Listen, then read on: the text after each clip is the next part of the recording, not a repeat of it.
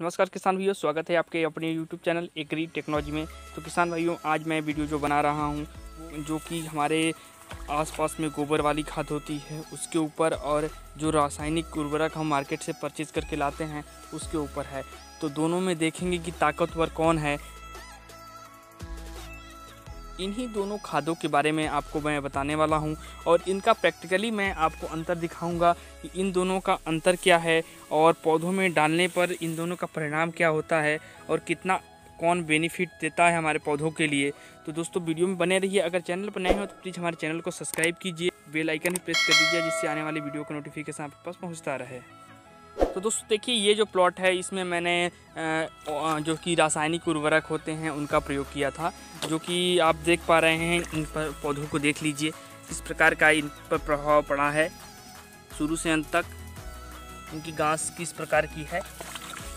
दोस्तों, ये जो प्लाट है, इसमें मैंने केवल केवल मार्केट से परचेज किया हुआ रासायनिक उर्वरक ही प्रयोग किया है, जो कि मैं आपको दिखा रहा हूँ। और देखिए, इन दोनों में क्या डिफरेंट है, मैं आपको दिखाऊँगा। आप पहले ये प्लॉट का, धान का जो पौधा है, उसको देख लीजिए। तो आप देख ही रहे हैं। और वैसे भी दोस्तों, इसमें यह है कि यूरिया जल्दी मिल नहीं रहा है। अब सरकार की क्या नीति है, क्या रणनीति है किसानों के प्रति, वो तो मैं समझ नहीं पा रहा हूँ। तो आप देख पा रहे हैं कि इसकी पत्तियाँ कैसी हैं और ये पौधा किस प्रकार का है, ठीक है? आप देख लीजिए।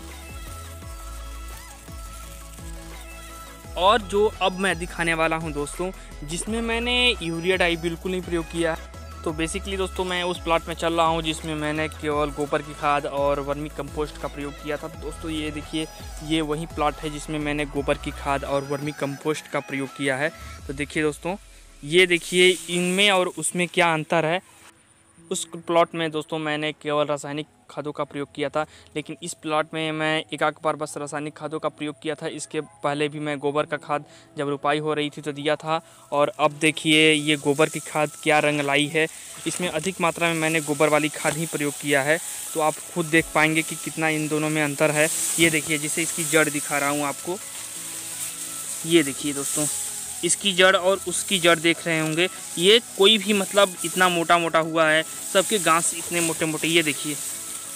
और इनमें हरियाली दम बरकरार है। इनका अलग ही लुक दिखने को मिल रहा है। इनकी पत्तियों का कलर भी दम बहुत बेटर है। दम देखने में भी अच्छे लग रहे हैं ये।